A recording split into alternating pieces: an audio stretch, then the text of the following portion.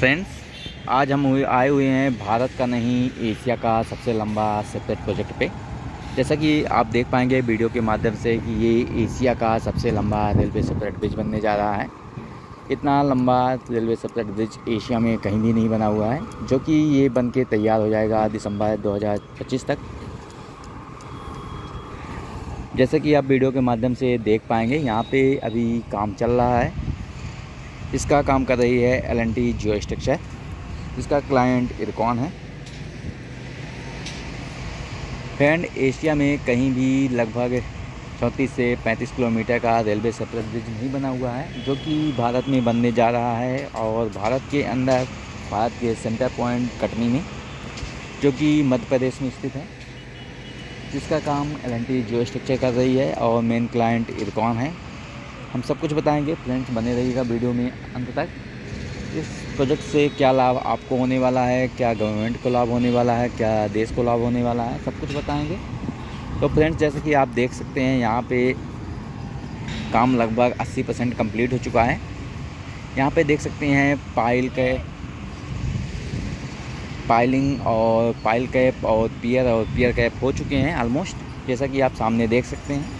इसके ऊपर ये ग्लेडर रखे गए हैं और इसके ऊपर डेक स्लैब का काम चल रहा है।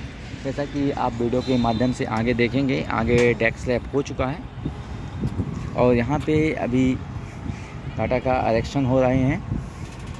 और ये है अपलाइन जो है शिंगरौली टू बीना उधर आप देखेंगे डाउन लाइन देखने को मिलेगा। डाउन लाइन आप देख सकते हैं। वहाँ पे पियर कैप का पियर का काम चल रहा है। और आगे पियर कैप का काम हो रहा है। अभी यहाँ पे डेक स्लैब का काम नहीं चल रहा है। ये है अपलाइन अपलाइन में अभी आलमोस्ट 80 परसेंट काम कंप्लीट हो चुका है। सामने आप क्रेन देख सकते हैं। और जिस एरिया पे हैं, हम हैं अभी, ये है कैलवारा और आप एक सामने ब्रिज देख रहे हैं। वो है मध्य प्रदेश का सबसे ऊँचा फ्लाईओवर जैसा कि आप सामने वीडियो के माध्यम से देख पा रहे होंगे। ट्रैक के ऊपर बना हुआ है, जो कि सागर पुल के ऊपर बना हुआ है। इसकी करीब लंबाई साढ़े तीन, चार किलोमीटर होने वाली है। और के प्रोजेक्ट ठीक उस ब्रिज के नीचे से निकलेगा। उसके नीचे है, ये रेलवे ट्रैक मिलेगा आपको और उसके नीचे एक सिटी ब्रिज है। जो फ्रेंड कटनी ज़िले के होंगे, वो आसानी से समझ पा रहे होंगे। जो आप सामने ट्रेन देख रहे हैं, वो ये ग्लैडर को ऊपर रखने के लिए लगाई गई हैं।